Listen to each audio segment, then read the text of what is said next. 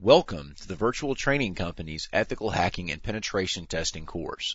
My name is Brad Causey, and I'll be working closely with your co-author, Bobby Rogers, to explain some of the exciting new developments in penetration testing and performing vulnerability assessment in the networks and on operating systems that you might find in today's environments.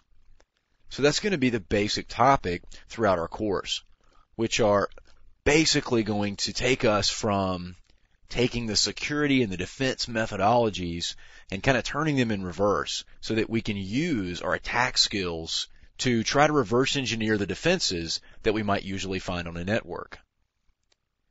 This should allow us the insight of the hacker mentality and allow us to better develop our security systems so that we can protect ourselves from malicious activity. First, let's take a few moments and look at some of the material that we'll be covering. In the very first chapter, we're going to cover the basics. We're going to talk about the concept behind ethical hacking, what the methodologies are that are actually involved there, and then we'll actually move into some of the activities and concepts that you will actually be performing in the field when doing penetration testing and vulnerability assessment. The first of which is reconnaissance. We're going to spend some time talking about doing your research and basically just footprinting the company or the network that you plan on performing ethical hacking against. Next, we'll talk about scanning. Scanning is a little bit more active than reconnaissance and actually will go through and give you a more accurate picture of what you might find in the network or what you might find running on particular hosts in that network. Next, we'll move on to service enumeration, which is going to give us even more detailed operating system information and application information about what we might find running on various computers in the network. Then we'll go into a little bit more technical detail and move into vulnerability assessment and exploitation.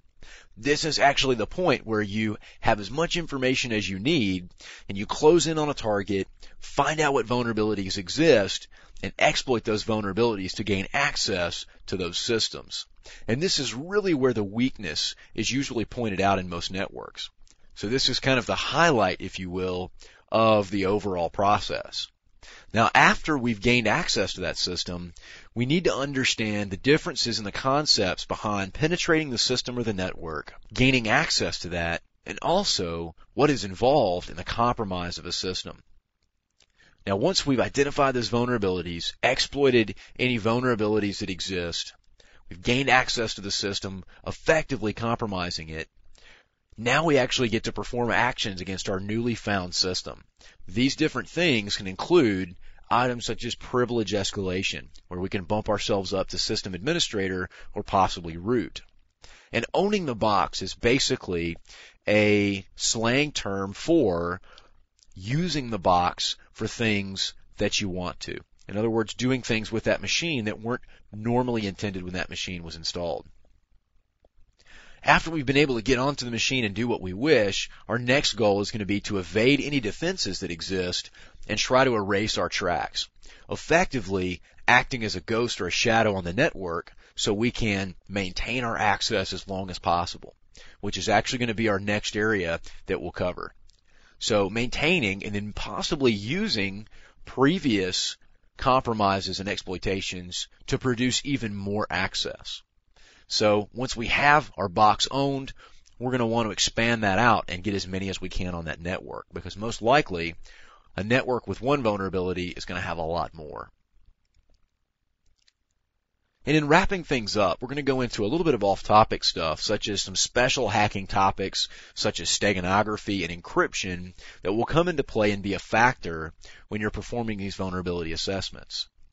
We'll also cover some popular tools that you might use in your travels as an ethical hacker. We'll cover some of the outstanding exams that exist if you plan on getting certified. And finally, we'll discuss a little bit more about my background and Bobby's background. So this should give you a pretty good idea of what we plan on covering throughout our course. I hope you enjoy the course and look forward to working with you.